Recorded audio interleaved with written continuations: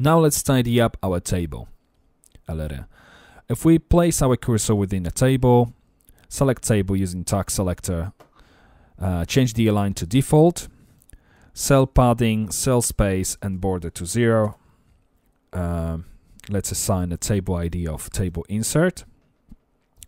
Place your first cursor within uh, the first cell of the first column and click uh, Ctrl T on your keyboard twice.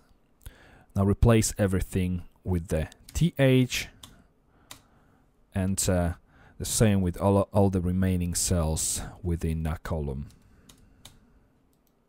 We actually don't have to do it with the pg pgconst because we're going to remove it in just a minute.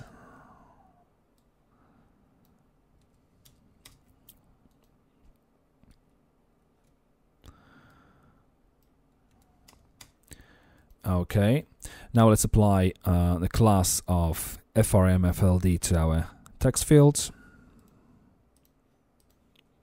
That's fine. Uh, let's go to the code view. Dreamweaver likes to add some additional tags, so let's remove this paragraph tag, which has been added after the form closing form tag. We also can see there are uh, two tr tags, opening, closing one, added absolutely pointlessly.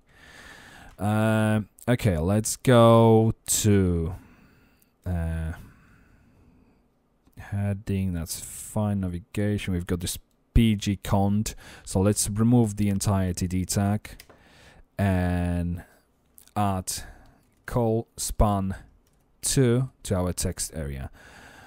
This way we've got this uh, link name, heading, navigation, and our update record button on uh, on a two uh, column layout and uh, content, which is a text area, on just one uh, cell.